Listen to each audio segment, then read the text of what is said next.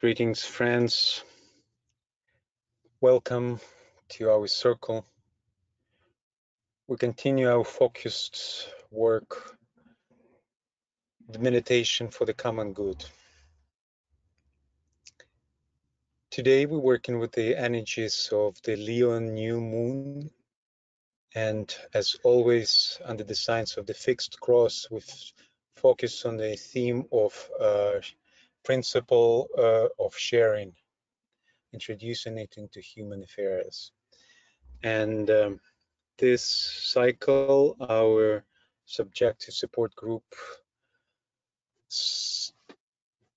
precipitated the topic for us that sounds human and planetary purpose. Soul consciousness is a pathway to right sharing. We had a chance to invoke the vision of the plan in relation to the unfoldment of the principle of sharing at the last uh, full moon, uh, the, the, day, first day of distribution, working with the energy of Cancer. And throughout the last two weeks, we've been holding this topic in the focus. So today we have a chance to share in our circle again our impressions and uh, offer thought forms related to this topic to the group chalice that through our meditation we could magnetize those and radiate to humanity. Thank you for being part of this continuous journey. And I ask Rebecca to remind us about the purpose of our work through our purpose of statement.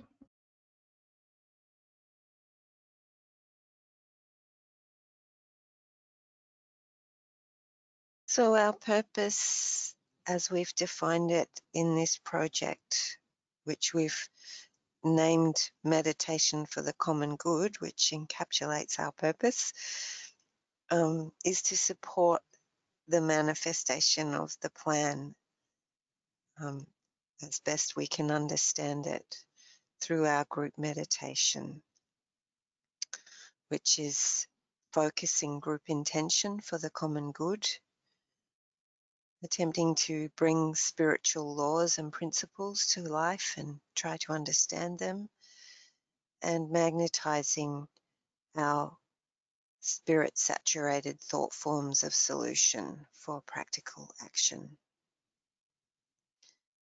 And as Alexander said, we're working within the energies of Leo, um, where the individual emerges out of the mass consciousness of Cancer. And we meditated the first part of this question, or our first meditation on this question, in the full moon of Cancer. So now, as we move into Leo, we uh, avail ourselves of those energies, learning to give expression to the individuality and the unique qualities of each individual, sharing from the warmth of the heart and eventually sacrificing our matured personality within the light of the soul.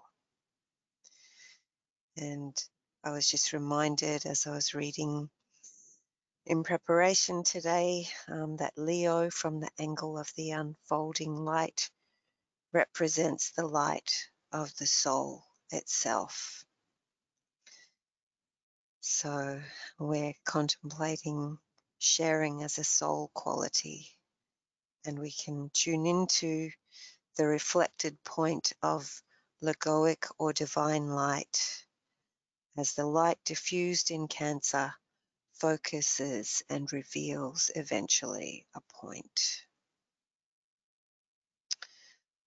So let us hold this influence and atmosphere of Leo, which we're working in, in mind as we come together today, beginning our group alignment through the naming circle. Over to Tracy to lead us through that process.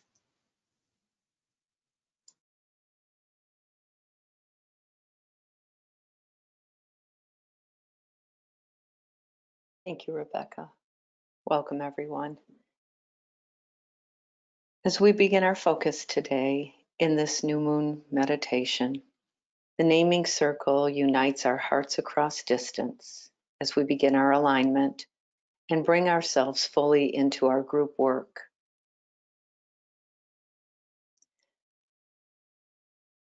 By uniting our hearts in this way, we begin naturally to work telepathically through our group mind.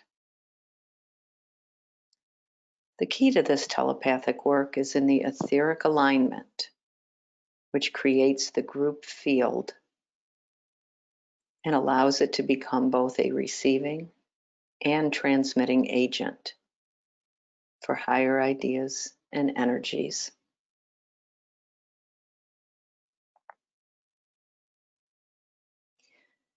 We will begin by calling our names into the circle, starting with our organizers. And as your name is called, please unmute yourself, say your name and where you are calling in from. For example, Tracy Arbor, calling in from Michigan, USA.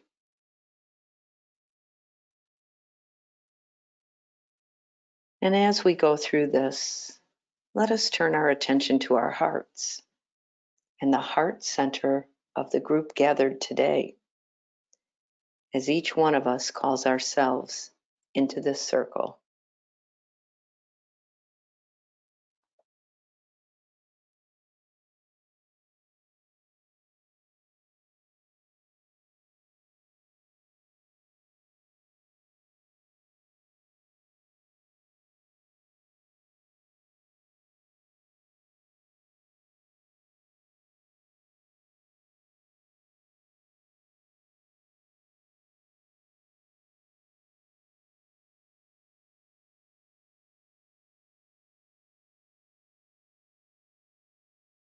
Welcome, Alexander.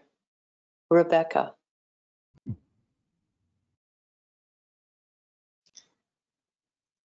Hello, this is Rebecca from the Sunshine Coast in Queensland, Australia.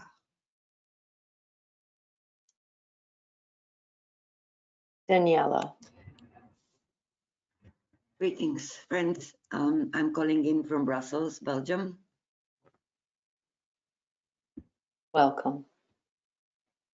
And uh, sorry, there was problems connection. This is Alexander calling from Walpole, New Hampshire. And Kathy calling from Walpole, New Hampshire. Welcome. And thank you.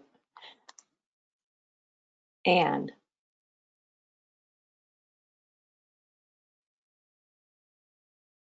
I am Ann Parker. I'm calling in from Venice Beach, California.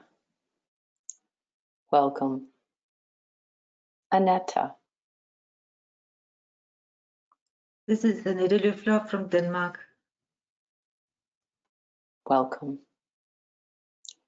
Barclay, Hello, everyone. This is Barclay Milne, and I'm calling from Querétaro, Mexico. welcome. Carlos,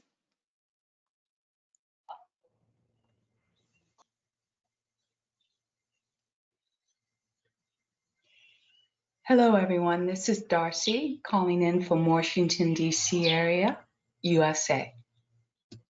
welcome.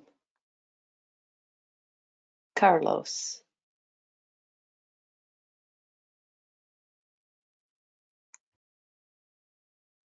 apologize, I don't uh, see Carlos on the list. If you see uh, Tracy, please unmute. Or maybe Daniela, you see his name. uh, it says he's offline, so maybe he stepped offline. If he's with us, welcome, Carlos. Dot,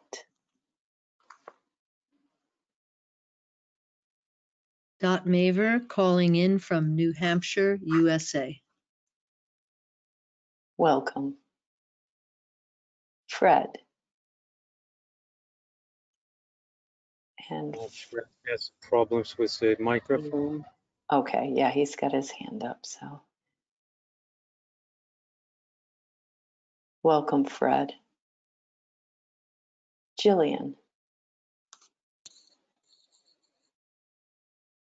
Hello all, uh, Gillian from Norfolk, UK. Welcome. Hayne.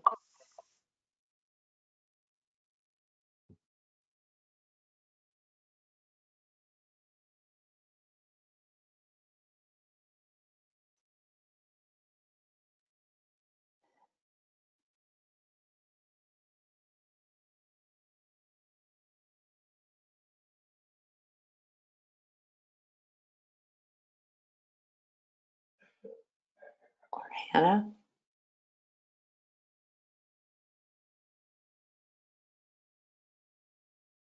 I'm Hanne Thorauke Jensen, calling from Helsingør, Denmark.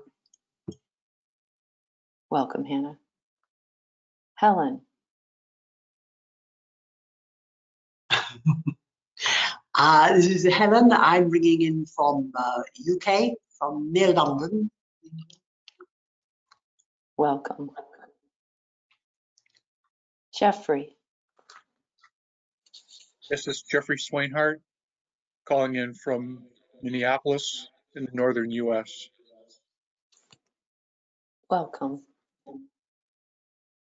John.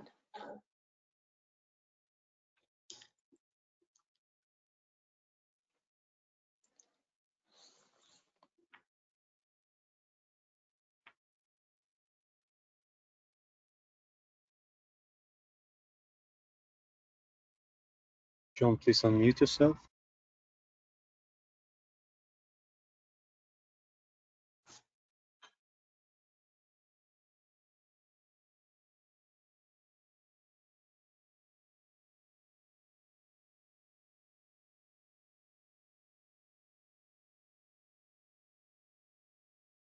Welcome, John. Josette.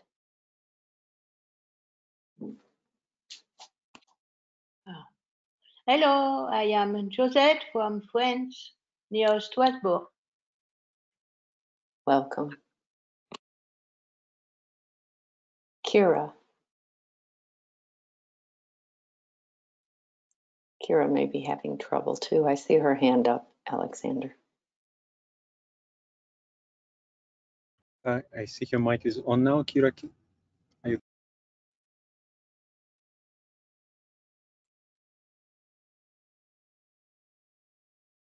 Kira.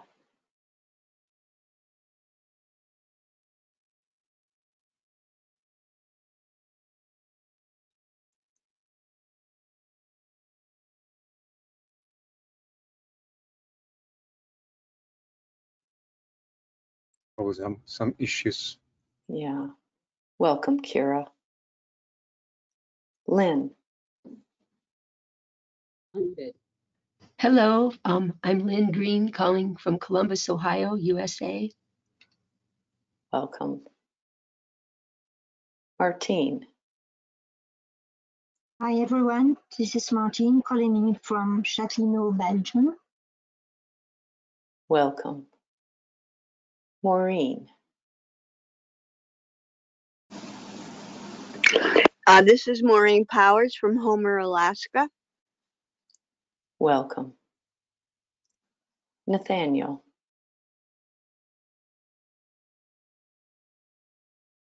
Nathaniel Borgen, Minneapolis, Minnesota.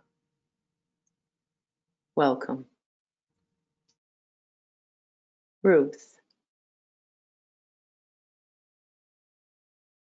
Hello, everyone. I'm Ruth Ditmar calling in from Corvallis, Oregon, USA.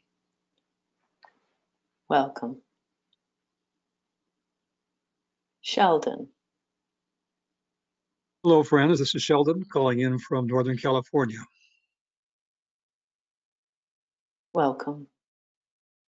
And Tracy, I noticed there's a note from John Sedovey here saying that he can't unmute and he's joining from Missouri. Welcome, John, and thank you.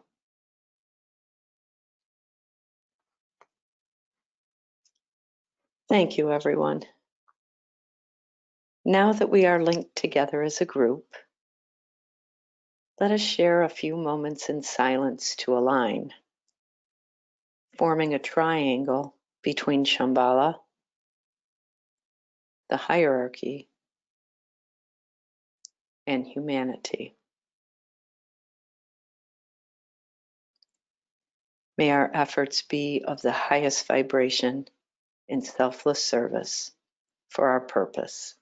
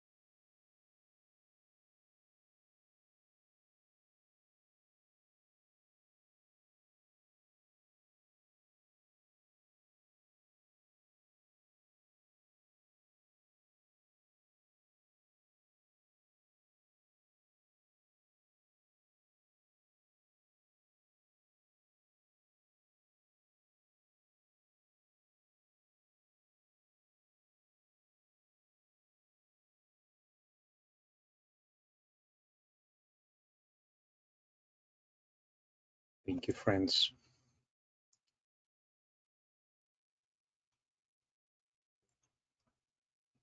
We open now our group circle for sharing, visualizing the group chalice as a heart center of our group that receives all our impressions, place where we focus our intention and through which we will radiate magnetized thought forms. The topic for our reflection this month is human and planetary purpose, soul consciousness as a pathway to right sharing.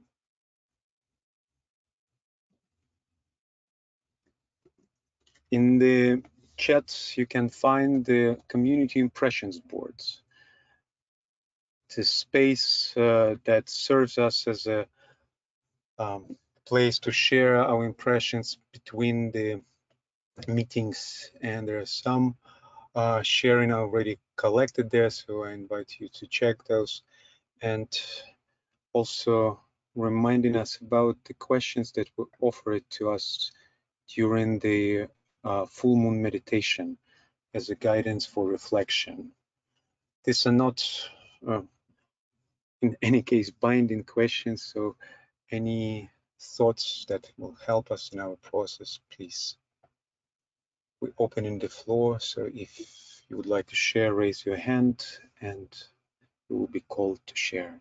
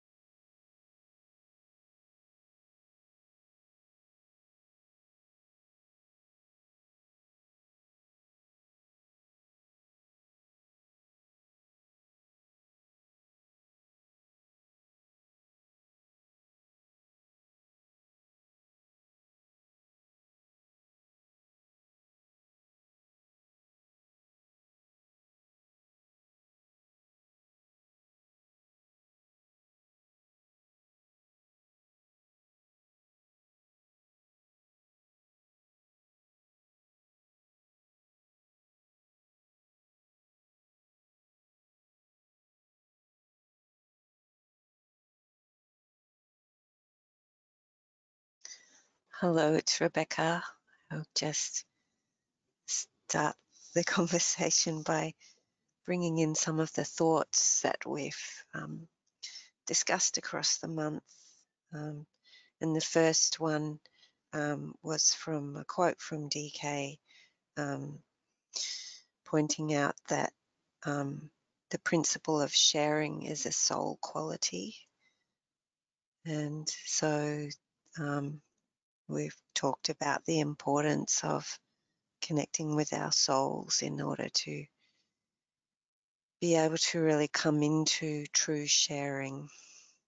Um, another thought that was talked about was um, the importance of um, the freedom of choice um, in in all spiritual endeavors, but especially in sharing that it's, um, we talked about actually education and um, preschool and not forcing children to share, but um, allowing that space so that they learn um, to bring forward the will to share from themselves.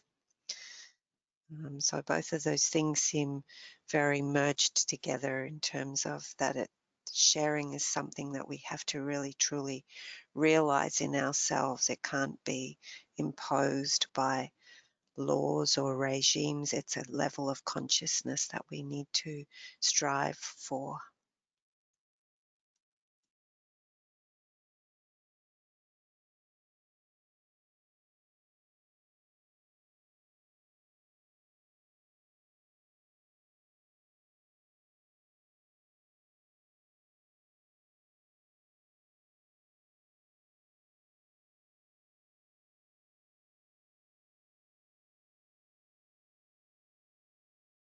Yes, this is Tracy. Um, I was contemplating on the third question that was asked about how is striving for soul consciousness related uh, to the common good.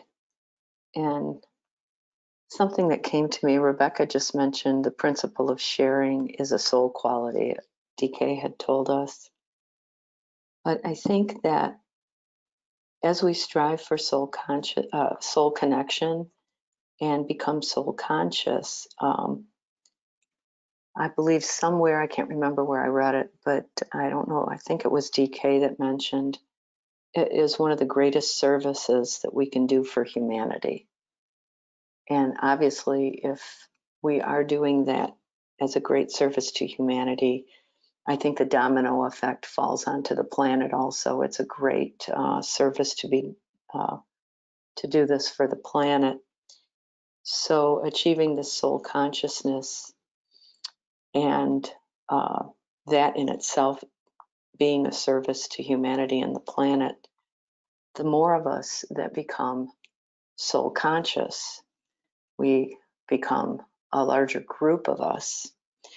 And as we create this group of soul consciousness our soul conscious individuals, um, I think we start to have the same thoughts. We connect with our hearts, and because soul consciousness is a heart type of quality also, and we begin working as a group through this, um, even though we're individually soul conscious. It we start to congeal as a group with that, and I think the more uh, soul conscious uh, individuals there are, there's an increased group effort. So if there are any problems that need to be solved or anything, now you're working through this group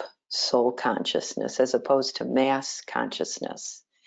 And when you're working as a group, so, group of soul conscious individuals, but as a group, I think then you start to apply the law of economy, where things become, issues become easier to solve, and that as you're working through that law of economy through the group work.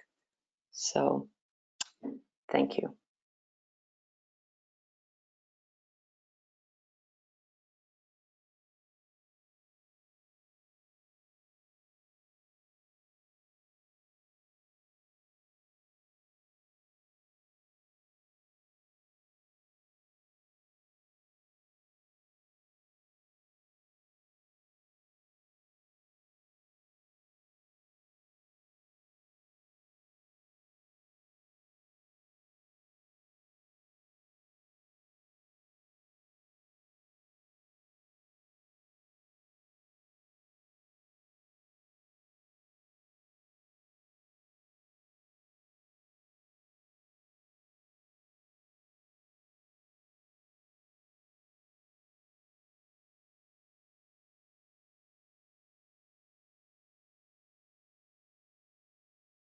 In the book, um, the compilation Serving Humanity, on page 463, um, DK says, the cycle now being inaugurated in the world is that of growth through sharing.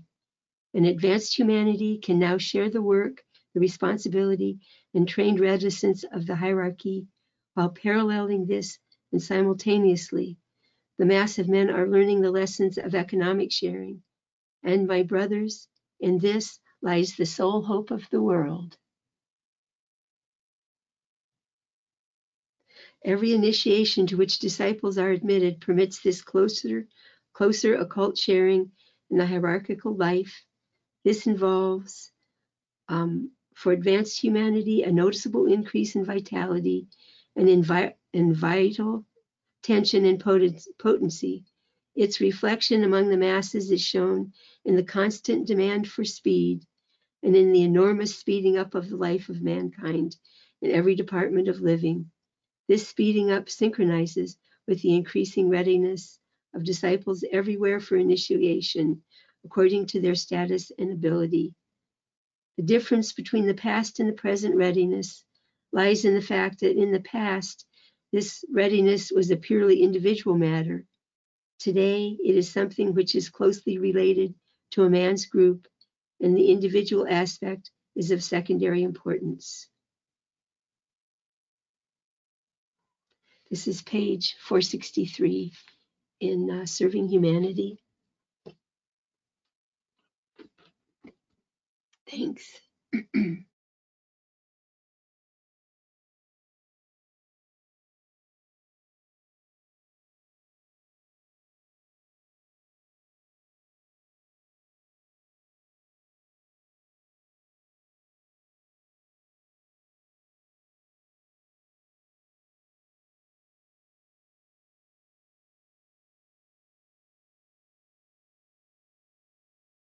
Um, Jill here.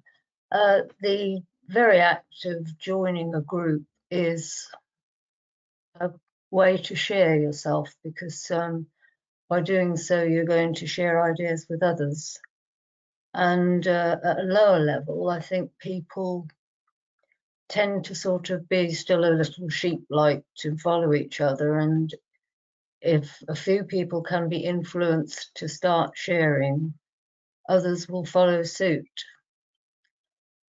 Uh, there was something else, but I'm not on top form today and I can't think of it, so I'll come back if I think of it.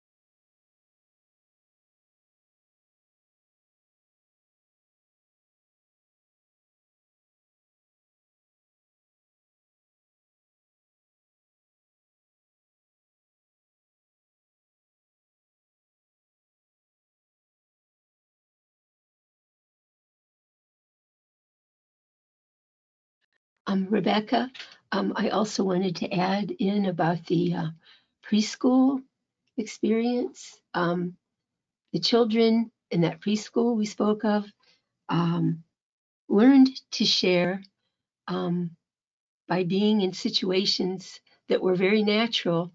Um, children that didn't want to share, just other children didn't want to play with, especially. So they eventually, well, very quickly learned that sharing was a good way to make friends and the kind of innate good in the children kind of blossomed forth. Um, because they wanted they wanted to be part of friendships and play groups and um, in that sort of free play that um, did not allow violence or harm but that allowed children just to to play together, naturally, um, it brought out that sharing uh, quality um, in a very easy, easy way after a short time.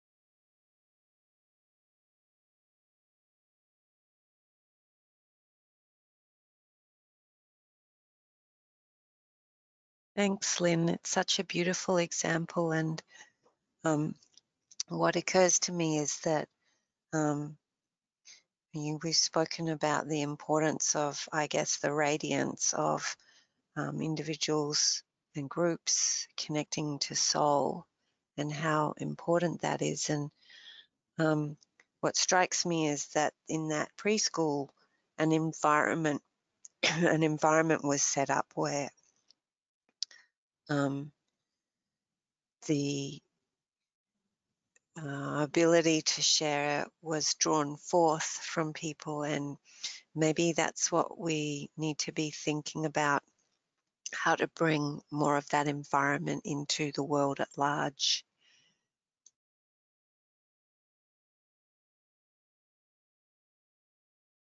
the teachers did a lot of work to set up that environment. You're right. Um, and it took, they had special phrases they used to um, um, keep children thinking along a sort of a, the right lines. Uh, they had techniques and, and um, it, it, it really did take some work to set that up.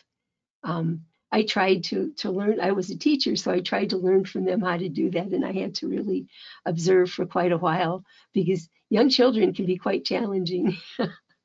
um, but the, my, I think maybe my my favorite part was um, when the two and a half year olds uh, reached out to hit hit the person next to them that had the toy they wanted and grab it. Um, the teachers would just take that child in their arms, go over to the rocking chair. The child would be yelling and, you know, ah, I want that. And they would hold that child in their arms and rock them and say, just say, I can't let you do that.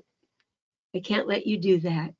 And, um, but we could uh, paint an, ang- you could paint an angry picture or I could, I could write down for you your feelings and um, how mad are you? Let's write this down. Uh, ways to encourage self-expression um, um, but the, as soon as the child was ready to go back to play again, you know, and they weren't uh, they weren't yelling and screaming and kicking and and weren't uh, trying to grab the toys, they let them down there to play again, you know, on the floor and the whatever activities were going on. It was a beautiful thing to see.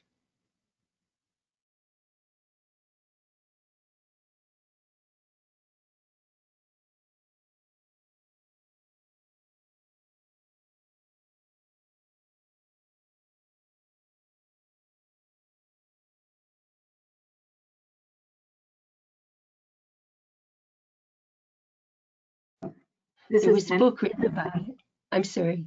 I was just going to say there's a book written about it, and I'll put that in the uh, chat box at some point.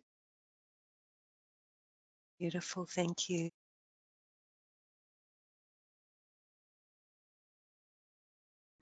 This is Hannah speaking. Uh, I think um, I've just uh, come to know about uh, the the importance of breathing, breathing properly. And a man, uh, I think he's from England, has written a book. I think it was in 2008, because he helped his son, who suffered from, I think it was AD. Uh,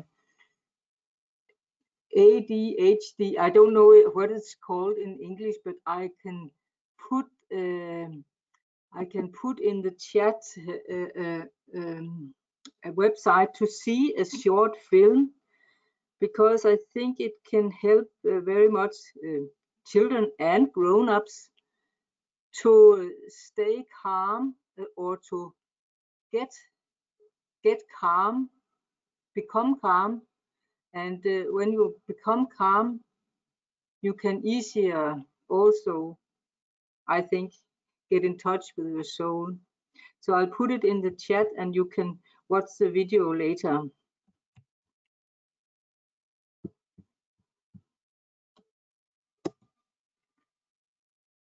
Yeah, it's ADHD or ADD, attention deficit disorder, or attention deficit hyperactivity disorder. I think that's what you were speaking Yes, about. yes, uh, yes, exactly. Yes, thank you.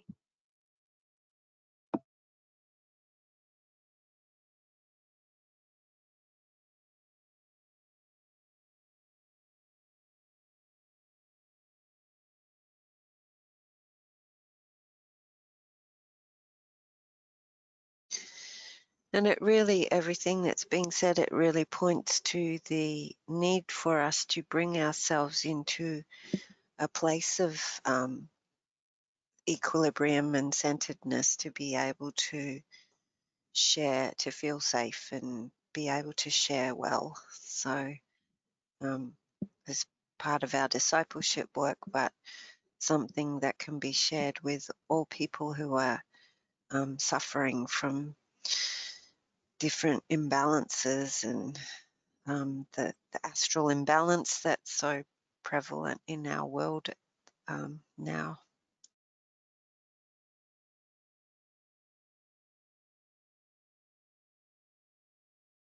Yeah, I think that's really important right now because of the increased population. And when you think about the astral body of uh, of humanity and the astral body of our planet, um, there is an increased added pressure right now because of the increased population. And I think that's an excellent point that everybody has been bringing up that we need to.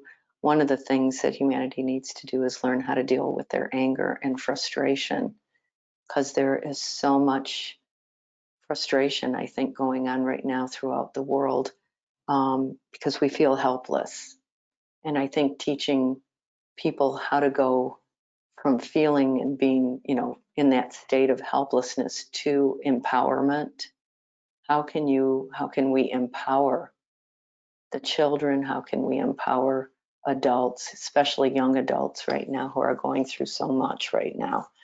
The little children are just learning, but these young adults are the ones, the highest suicide rate and everything. I mean, so I think finding that safe space um, and trying to help um, find a release valve, so to speak, for all the pressure that's being placed on this astral body of humanity right now is really important. Opening up the pressure valve, you know, kind of like a pressure cooker, right? You know, so just having that release valve.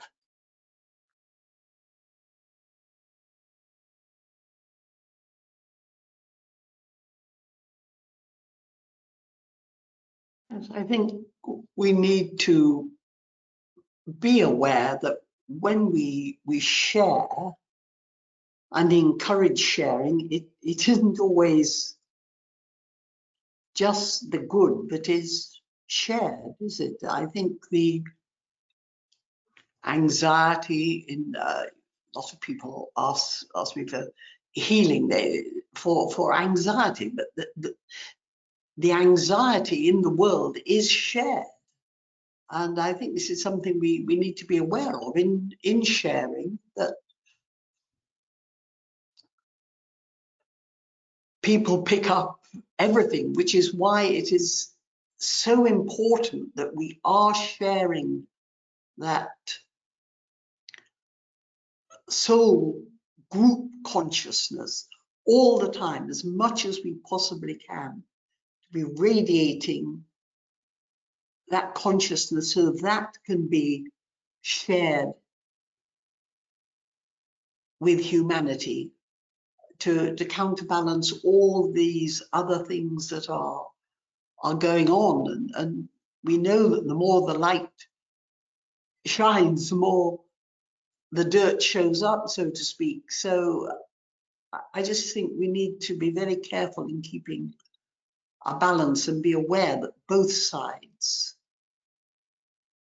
come up to be looked at.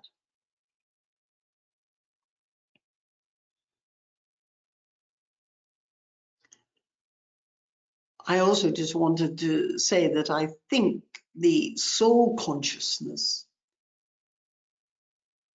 that that awareness of the, the oneness of the group at soul level is right human relations. I think that's where that actually is at that soul conscious level.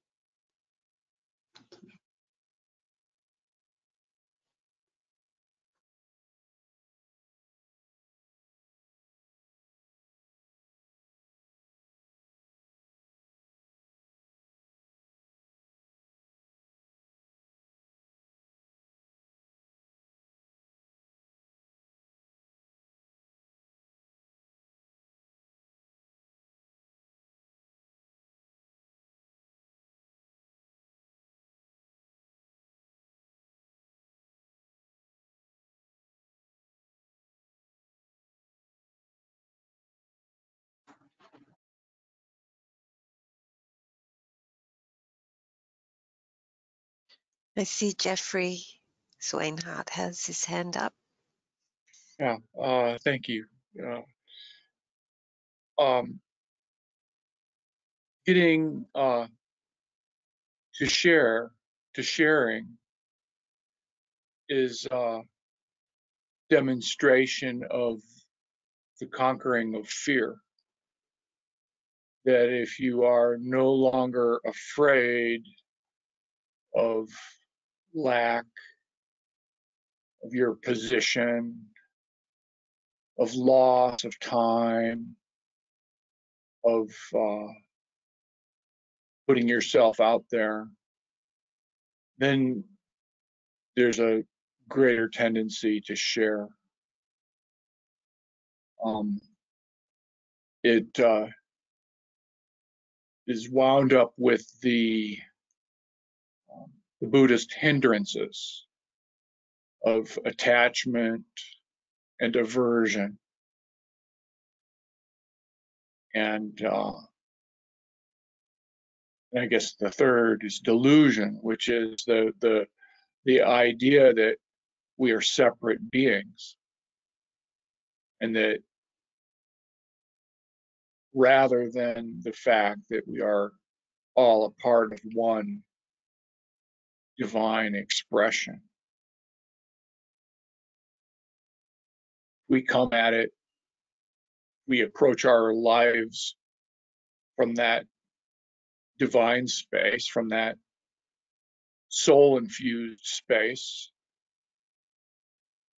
then the sharing is natural.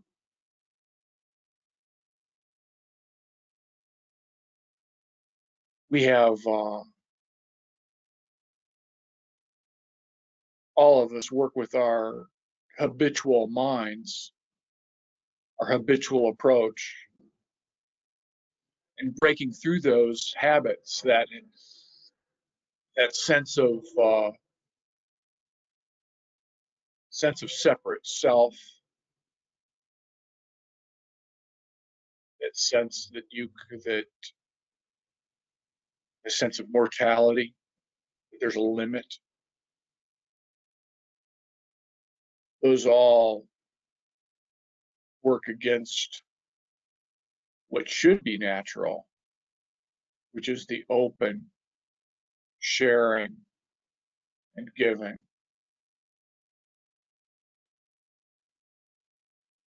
The whole um, the whole of life as you know aspirants and disciples work on their own selves. The average folks getting by it's all a part of our spiritual development as one humanity. And those with maybe a little broader perspective can really help the situation by sharing more, by sharing not only materially, but our thoughts, our hearts.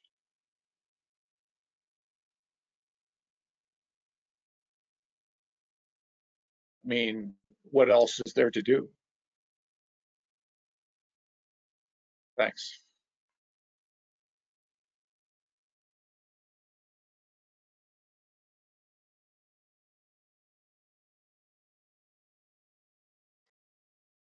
The uh, Commonwealth Games here in Birmingham demonstrates a lot of sharing. I mean, apart from the athlete, athletes coming, the Commonwealth is gradually dwindling as uh, nations want to drop break away. But uh, the ones that come are so full of enthusiasm. And I'm not uh, particularly a sports fan, but I've been watching the footage on the television and there seems to be so much happiness there. And there are so many people that volunteer to just go and show people around and help people out. And uh, they're all sharing in quite a big way. Thank you.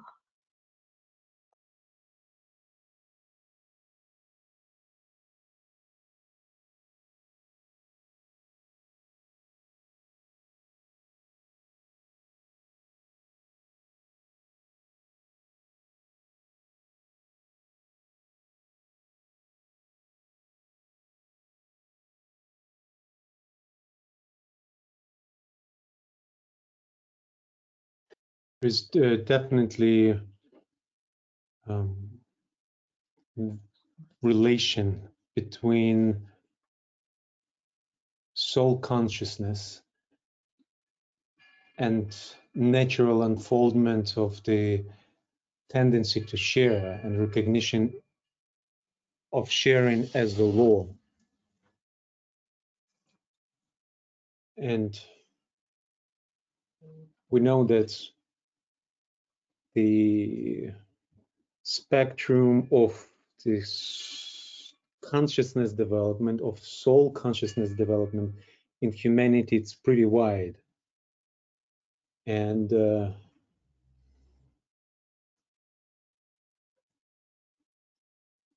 as more and more people who awaken to the soul reality, the uh, principle of sharing becomes more and more becomes a norm. And yet it's not my sense we're just approaching to that what is we can call the critical mass if we think humanity as a whole together. And uh,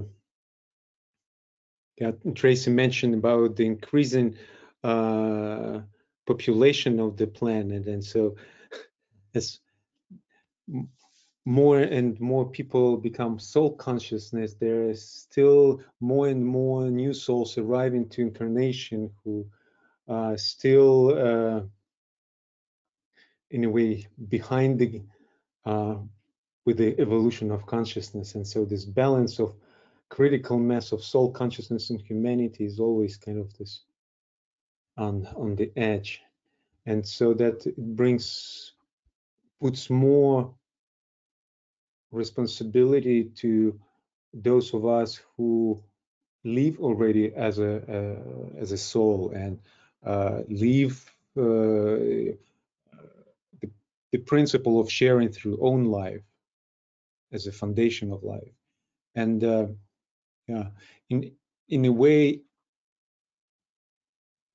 the the what we call the new group of world service and uh, people who awaken to their soul consciousness, they carry mm, that burden of responsibility for all. And uh, yes, we are forerunners, not just in terms of uh, heralding the new age, but uh, actually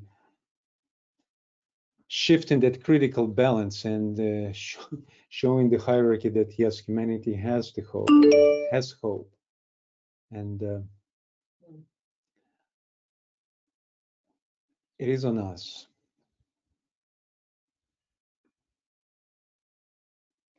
Thank you.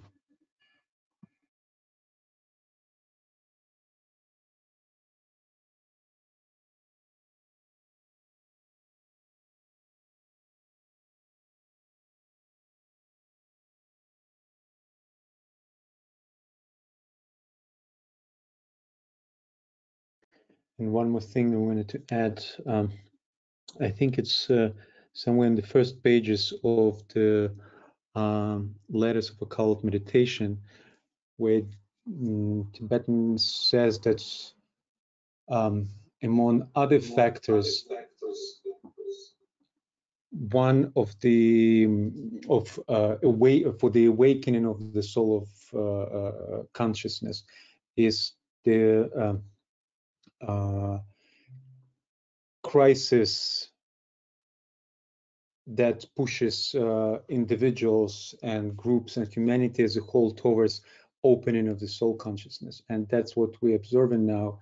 The most uh, serious condition that society lives through, the the more intense push towards the uh, all sorts of volunteer activities and towards sharing. And as an example of that, I, I, I can offer that what I hear, heard, and keep hearing many, uh, many stories coming from Ukraine as the war began. Uh, the intensity of the of everything, and the, but also intensity of the subjective experiences that people uh, live through uh, always been on the edge of life and death. Uh, the uh,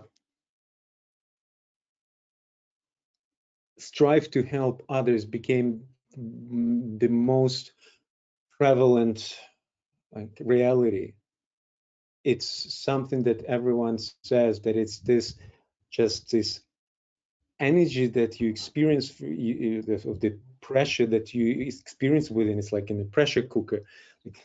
The the the the way to kind of normalize your balance your inner balance to start doing something helping others finding something to to, to finding those who even in the worst condition and trying to help them. So yes crisis is a is a is a uh, will help us all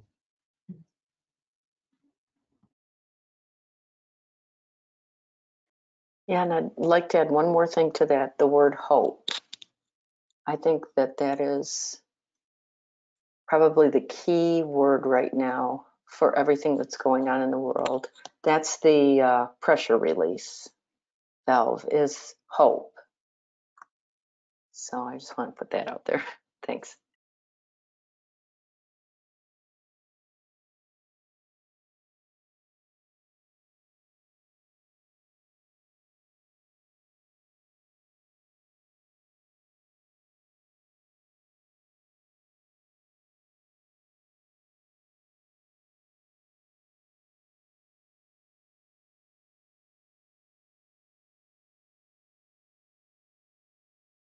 I'd like to add too that we we spoke about. This is Lynn.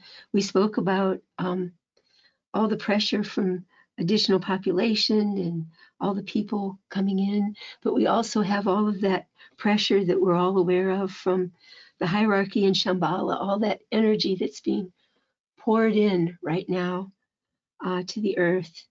And um, I, I know I have a, a good friend who's um, actually an intellectual uh, has never been interested in spirituality, um, but he is uh, actually having a crisis right now, a mental health crisis.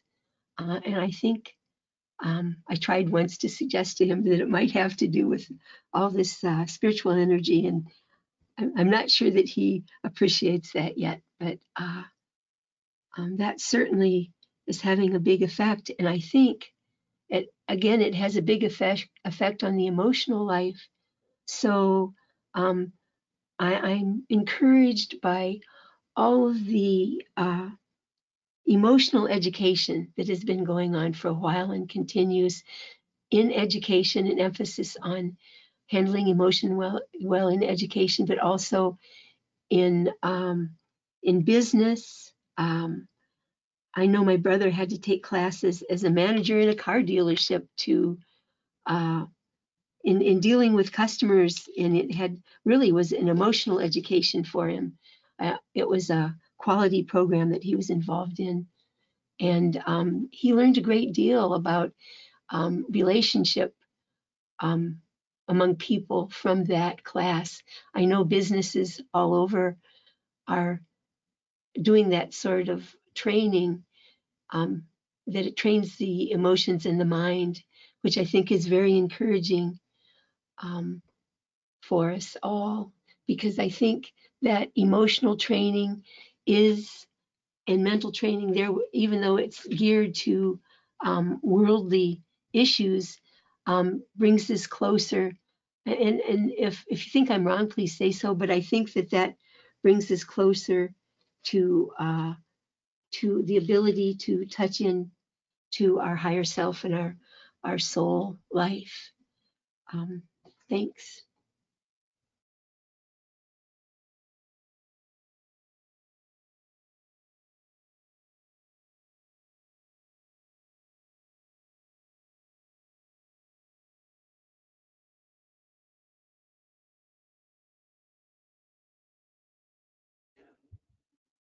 Anna, Um, I, please. You? Oh, sorry, Julian. no, it's okay.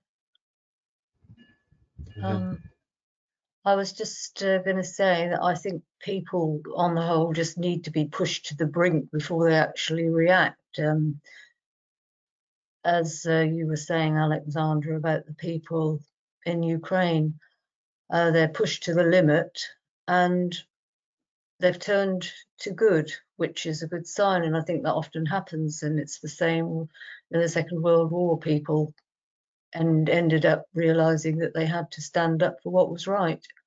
So I'm wondering if this uh, climate crisis, etc., that's going on at the moment is superior beings' ways of pushing us to the limit to try and get a good reaction from us.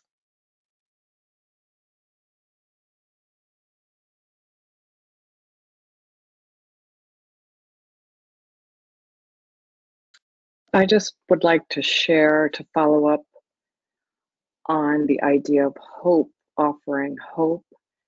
I think also in these times when perhaps people can envision things being worse than they ever imagined, it's important if we can to offer a vision of how wonderful or at least the very minimum improved they can be and will be. I think not everyone can envision positivity and a new, the new age, let's say, as well as others. So whether it's through conversation or art, and obviously through our meditations, but on top of the hope, if any means we can to offer a vision is important right now. Thank you.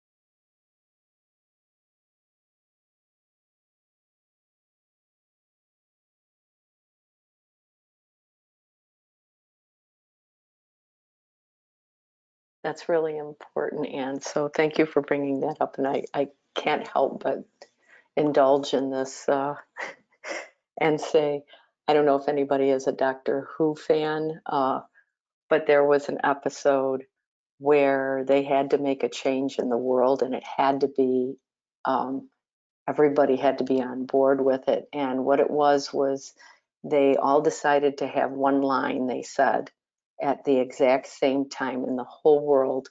And everybody in the world was focused on that one specific word or uh, sentence they were going to say at an exact time. And it completely changed the whole world for the better. It was like one, they were all in unison, all of humanity was in unison. And I can't remember what it was for or about, but again, like what you said, Anne, you know, if we give a positive vision or say hopeful words to people, I think people they're hearing so much negative and seeing so much negative that beauty we're, we're missing so much beauty in our world right now um, because every, everything seems so dark. So you know the lack of light we need to bring light to those things that are beautiful and and worth living for and worth striving for i think as uh, as jillian said pushing you know they were being pushed to the limits and alexander mentioned with the ukraine thank you for allowing me that indulgence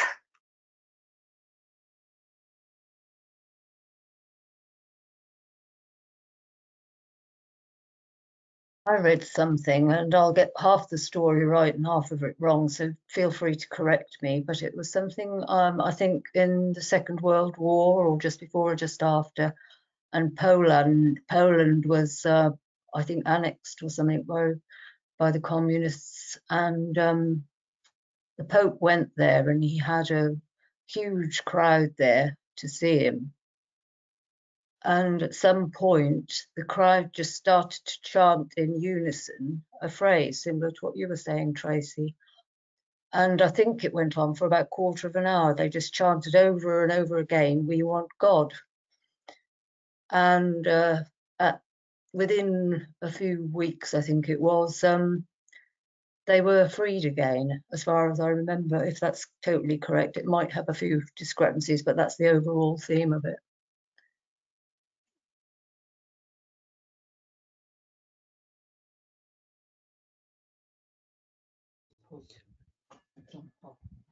Kathy here just corrected that, uh, not corrected, but added that it was during the 80s and it was uh, Pope John Paul, yeah. And, mm -hmm. Not too far out. Thanks.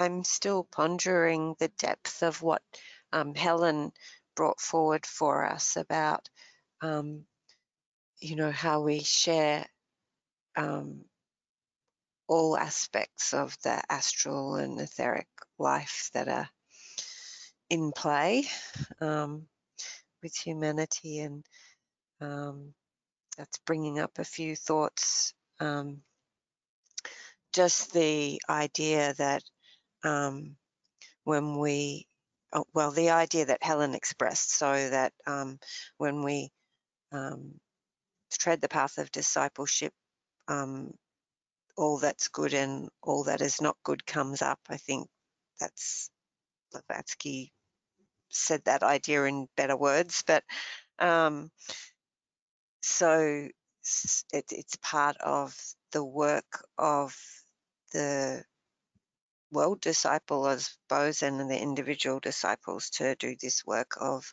um, seeing what comes up and um, purifying um, the things in ourselves, the fear in ourselves. And because of this connection that Helen pointed out, when we do that, we help the whole.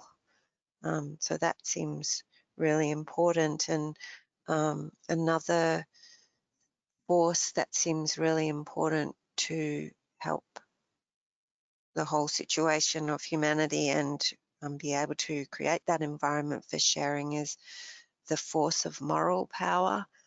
Um, and I recently heard that um, talked about um, in a um, interview that I saw, and I can't remember the guy's name. The last name is his first name was Mattias, and he's written a book about mass formation and the um, sort of.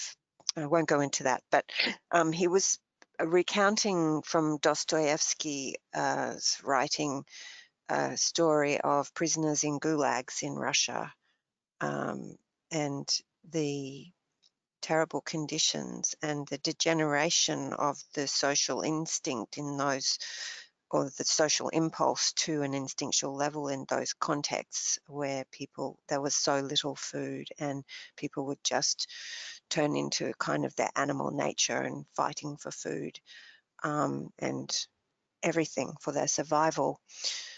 Um, and he spoke about how there were just a very small proportion of prisoners who refused to try and take other people's food and um, just kept to their moral compass.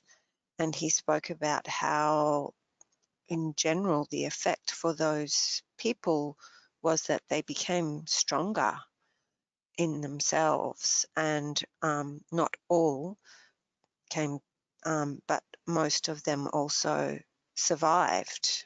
Um, so I think that's a really um, strong example of the work that we can do to bring strength into the world and to um, help the situation overall.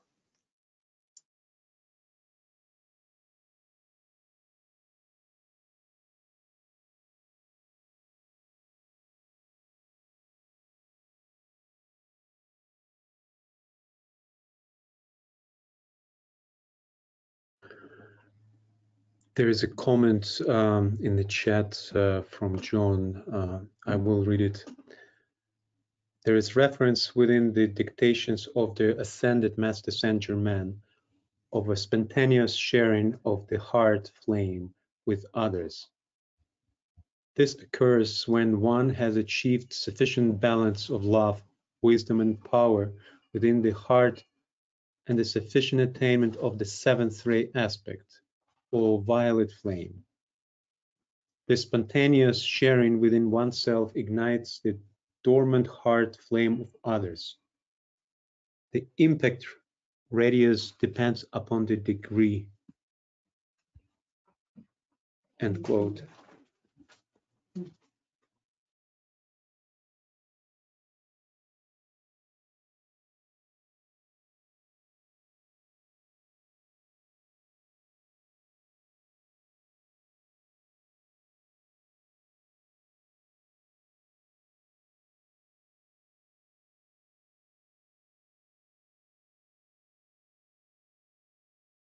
Quite rich sharing today and um, considering time, um, um, we definitely approaching time for the meditation and the way our meditation is structured during the new moon is that we align invoking the available astrological energies. And uh, then there is a uh, period after a period of silence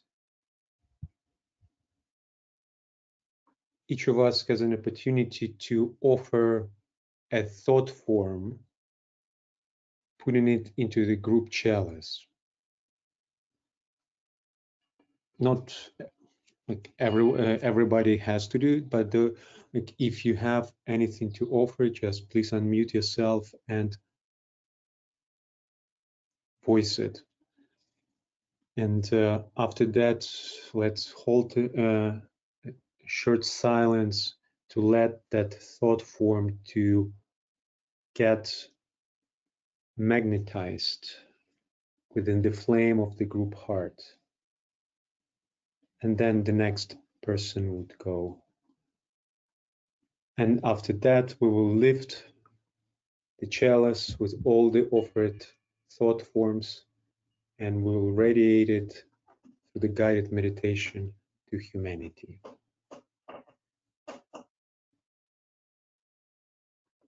So before we, mm, uh, yes, Rebecca, you wanted to add something?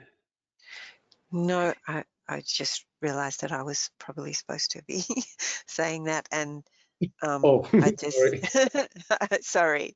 Um, and I just wanted to I was just going to offer um, just to say that um, at this point we'll take some silence to reflect on what's happened and um, allow some seed thoughts to come together, which can then be later offered into the meditation, which you will lead us in when you're ready.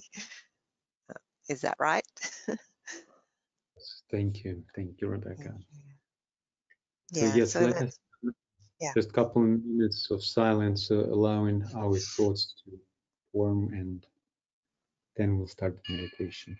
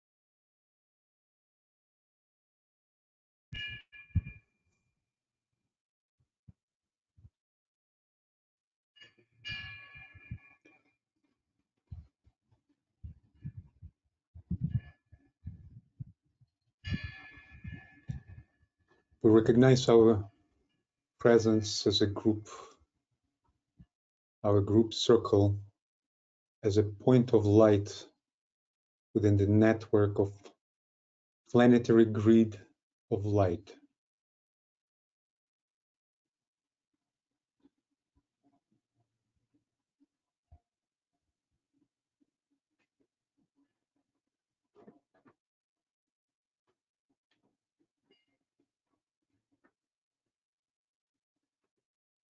We stand together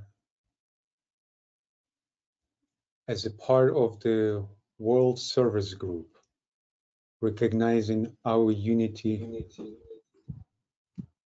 with the wider group.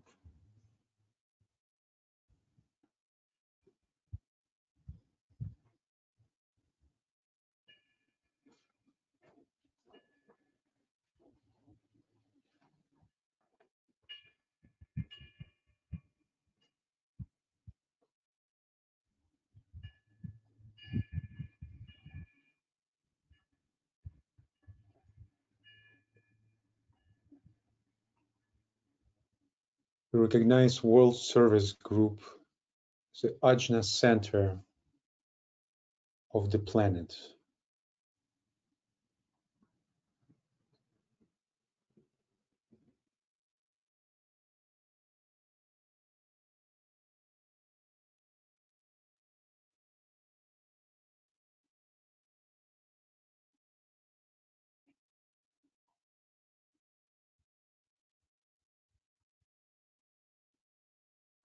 We recognize and accept the unique position of mediatorship between humanity and spiritual hierarchy.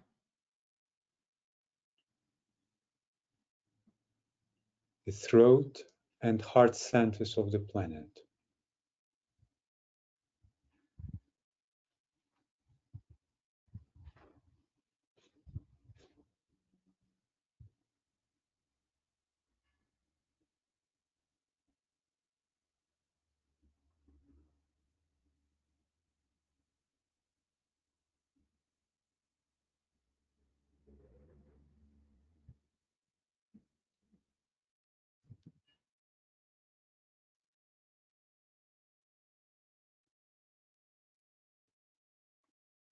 We see the radiance of the triangle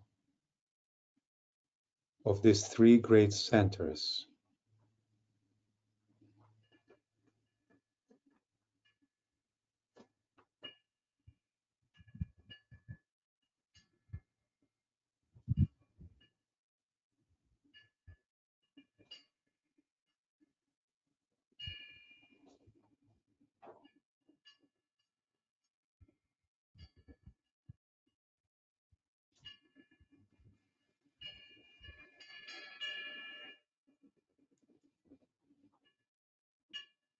We lift our group eyes towards the energies of the sign of Leo, invoking its potency and quality.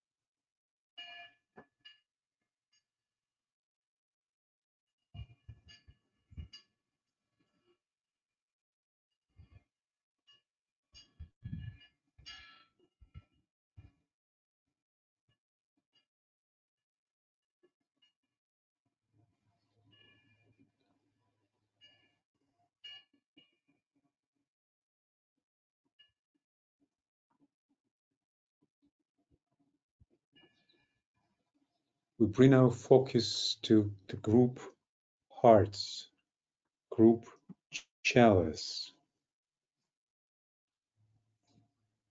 firing up the flame of group love and group potency with the energy of Leo.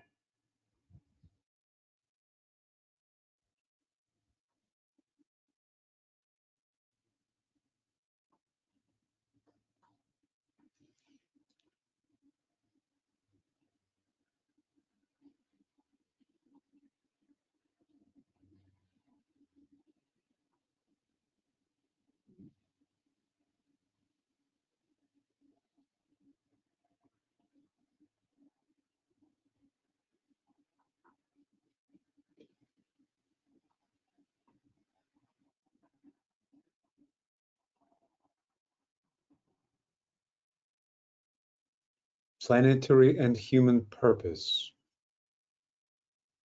soul consciousness as a pathway to right sharing.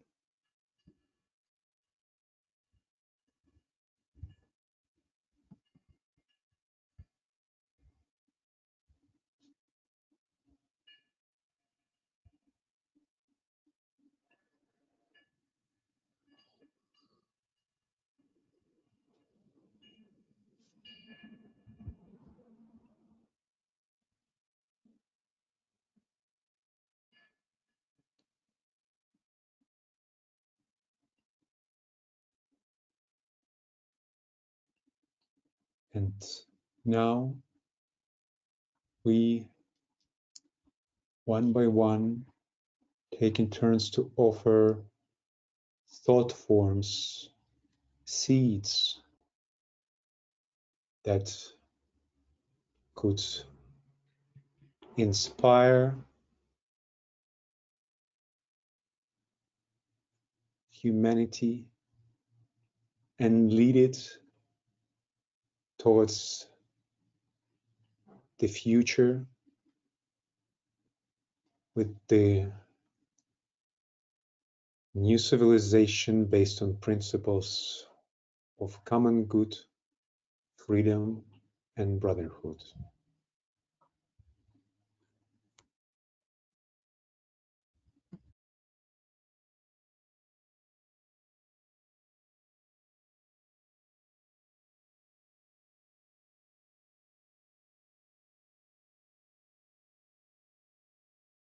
Hope.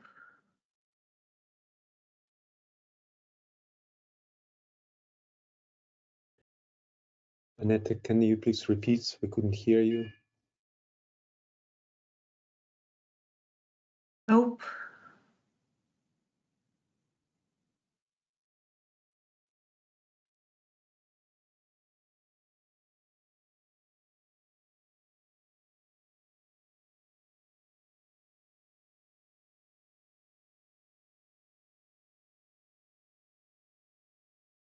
Realizing the beautiful and synthetic unfolding of the divine plan. I am that, and that am I.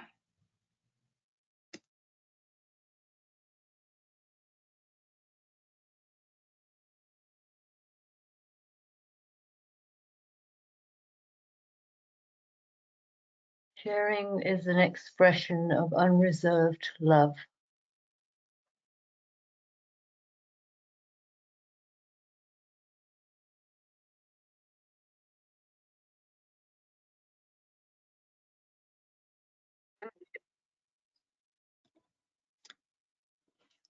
The sun rules Leo on all levels. The sun is a brilliant demonstration of sharing.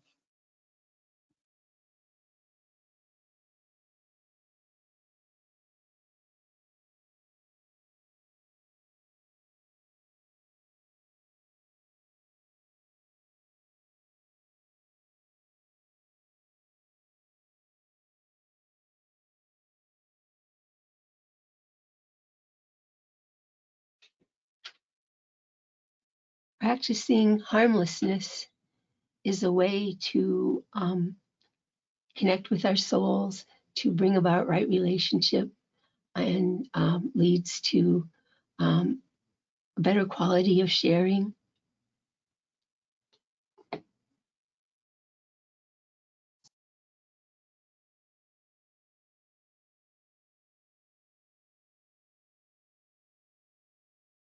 Love thy neighbor as thyself.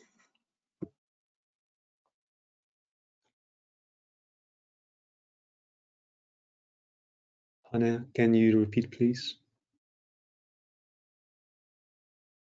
Love thy neighbor as thyself.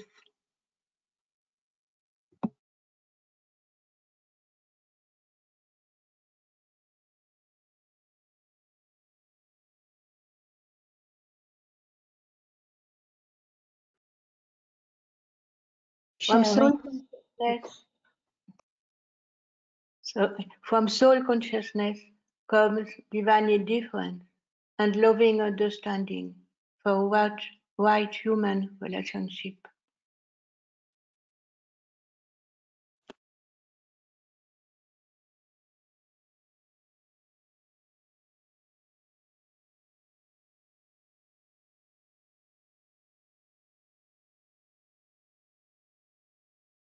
Sharing will lead to trust and then to peace.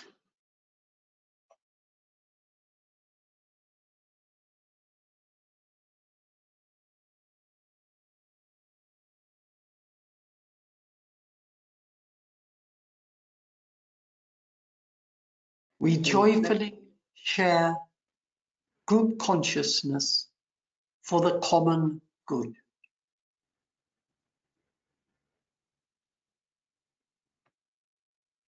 There is a message from John that says spontaneous sharing.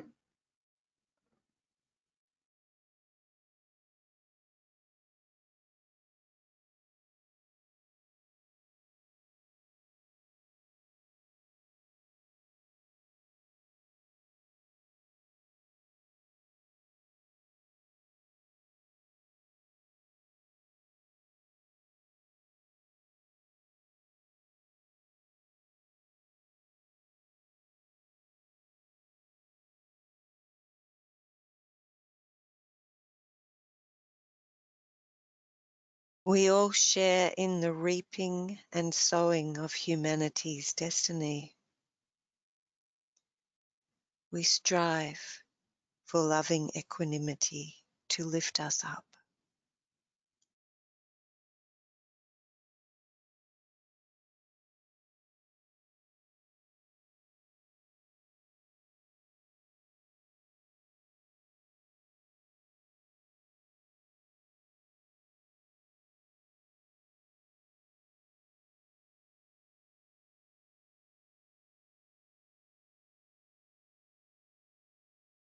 The energies now offered by Leo assist in awakening the children of the sun to know thyself.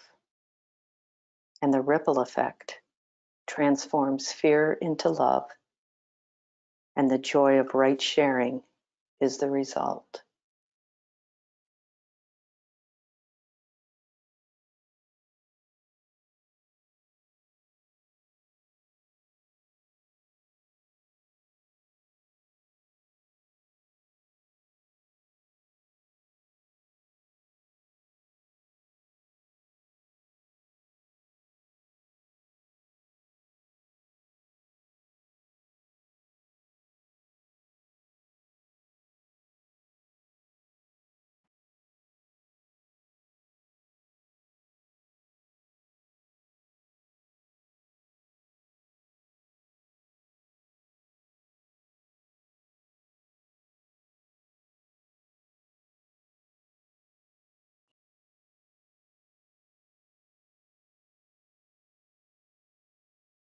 Sharing open doors of opportunity.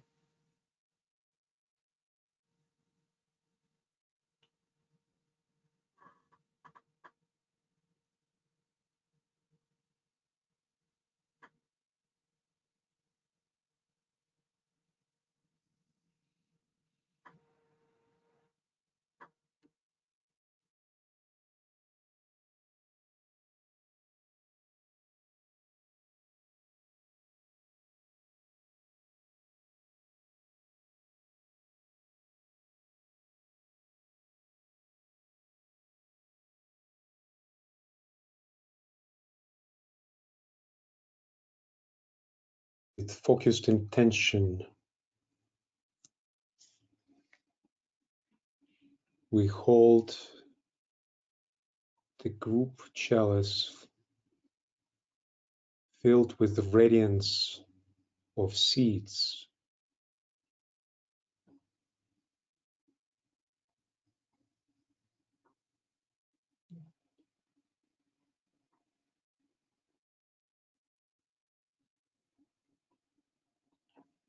Visualize the light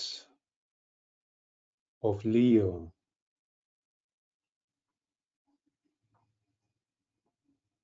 the will to good.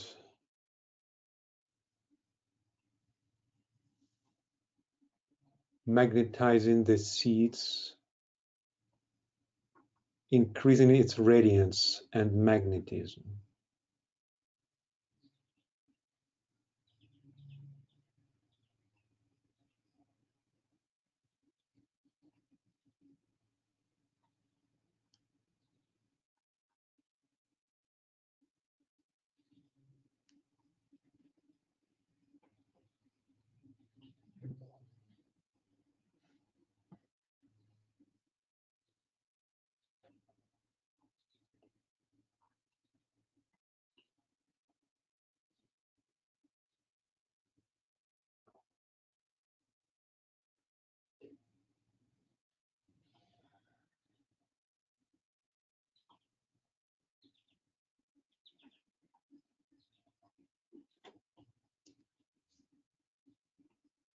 As we hold the visualization of the triangle of the hierarchy, group of world servers and humanity,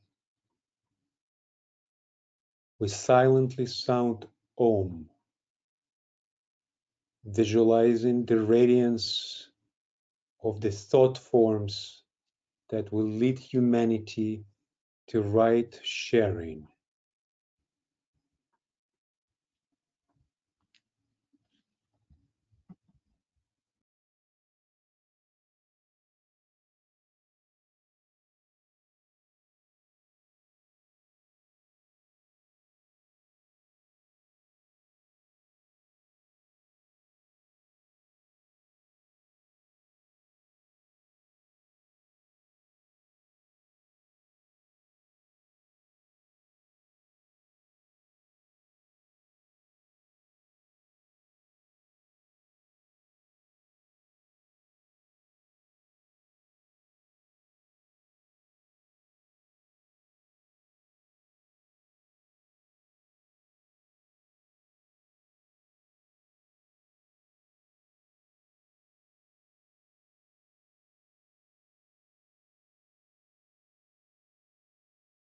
From the point of light within the mind of God. Let light stream forth into the minds of men. Let light descend on earth. From the point of love within the heart of God, let love stream forth into the hearts of men. May Christ return to earth.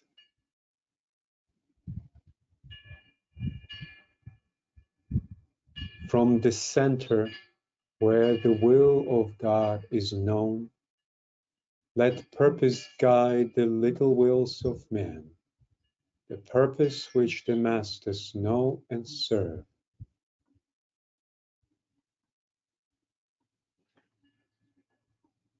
From the center, which we call the race of men, let the plan of love and light work out, and may it seal the door where evil dwells.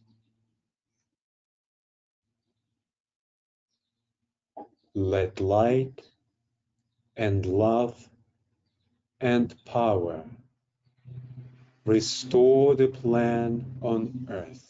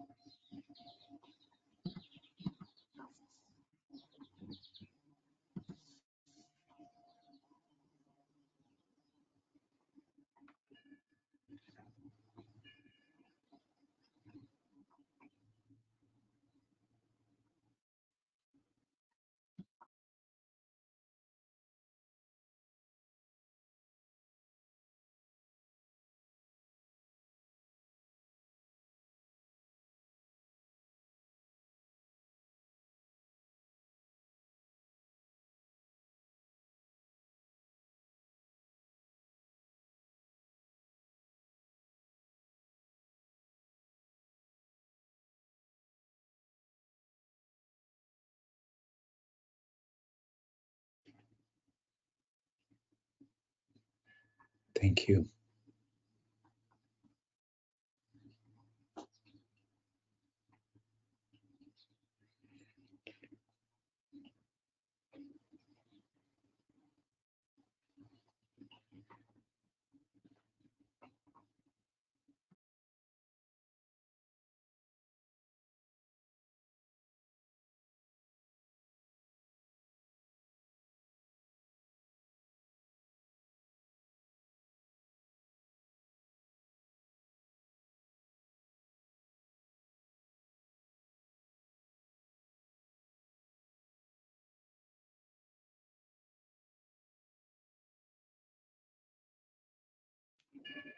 So we continue our work.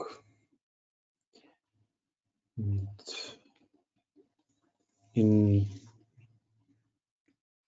in a week or so, um, subjective support group, custodians of purpose group will gather again to reflect and share together, precipitating ideas and the topic, ideas for the topic for the next cycle, as we will be working with energy of Leo Virgo.